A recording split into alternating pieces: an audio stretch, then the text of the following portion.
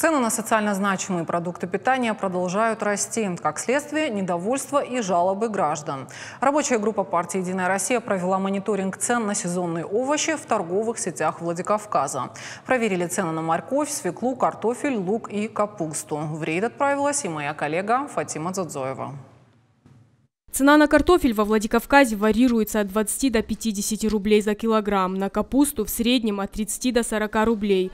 Лук может стоить 17-20 рублей. Рекордная стоимость у моркови. Она превышает 100 рублей. В некоторых сетевых магазинах самые основные продукты продают без наценки. Таким образом, овощи можно купить по ценам на 20-30% ниже средней стоимости в регионе. В нашем магазине нет наценки.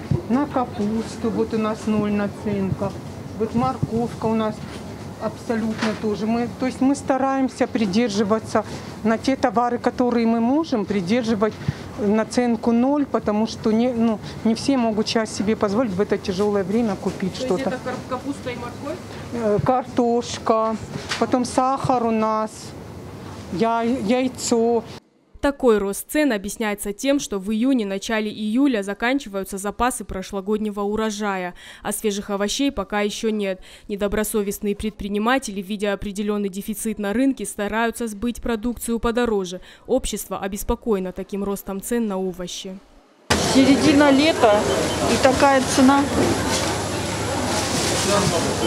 Эти не надо, а на да? какие продукты вы заметили, что поднялись цены из овощей?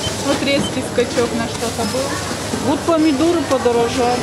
Единая Россия создала рабочую группу, которая мониторит цены на сезонные овощи. Как оказалось, на рынках и в торговых сетях они разнятся существенно. Эта разница, по словам единороссов, должна быть устранена в пользу покупателя обходим магазины, да, и уже как бы смотрим э, на политику, на ценовую политику всех магазинов. Э, хотелось бы, чтобы все магазины работали по одной ценовой политике.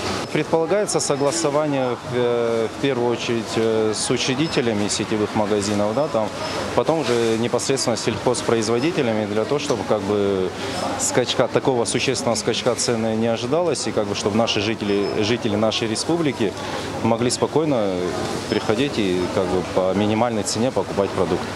Ситуация с повышением стоимости сезонных овощей идентична по всей стране. Исправить ее можно путем заключения соглашений между торговыми сетями и производителями о снижении наценок на социально значимые продукты. В числе предполагаемых мер и организация ярмарок. На них можно купить фрукты и овощи непосредственно от производителя, без наценок.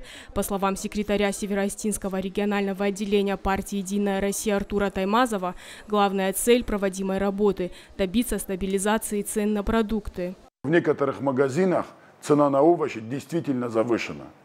В ближайшее время будем встречаться с представителями торговых сетей, чтобы выяснить, почему цены так выросли. Надеюсь, в этом нам помогут профильные министерства.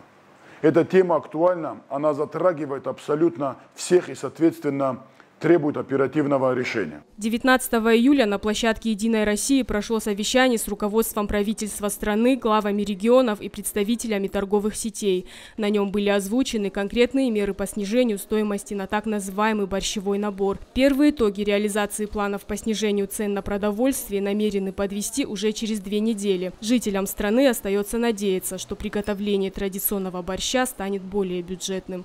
Фатима Дзадзоева, Игорь Войцеховский. Новости Осетии.